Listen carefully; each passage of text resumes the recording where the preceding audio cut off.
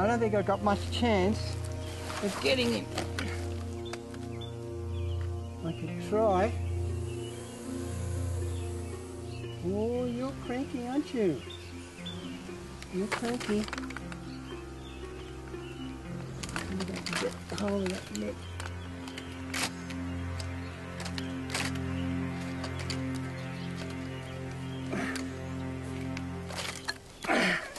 Oh, he's cranky. I've got to be so careful of this bloke. These guys are incredibly powerful.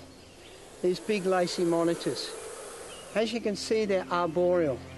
They're very much tree climbers. These are dangerous animals. I'd rather hold on to a crocodile this size than one of these because those talons can really rip you up.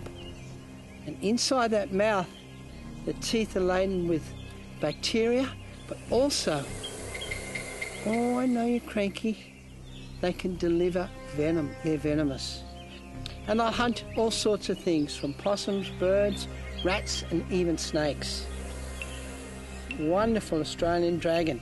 They're related to the Komodo, but a dangerous animal to handle.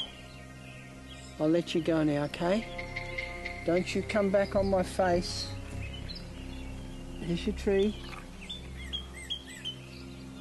What are you going to do?